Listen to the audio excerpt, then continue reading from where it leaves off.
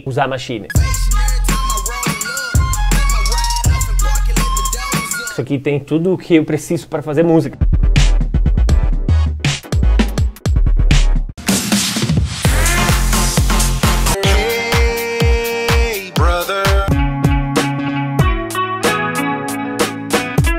se integra perfeitamente com qualquer outra plataforma. Procedimento é muito mais criativo, a música pode fluir muito mais.